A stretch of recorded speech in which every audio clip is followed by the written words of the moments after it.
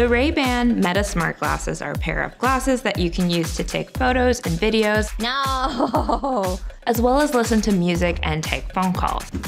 Psych. And in many ways, these glasses are what the stories should have been. Instead of one mic, we now have five. The audio is also improved with less leakage, better bass, and support for spatial audio. The battery also lasts longer, and the charging case itself is slimmer, more stylish, and now has an LED indicator light. I get about three to four hours of heavy usage and closer to a whole workday if I use them more intermittently. I ran my battery all the way down to 15% on my commute here. It's been less than an hour, and I'm all the way back up to 100%. These are solid updates but none of it is revolutionary. But what I think Meta's done here is nail the execution, which in turn addresses some of the key issues that have held smart glasses back.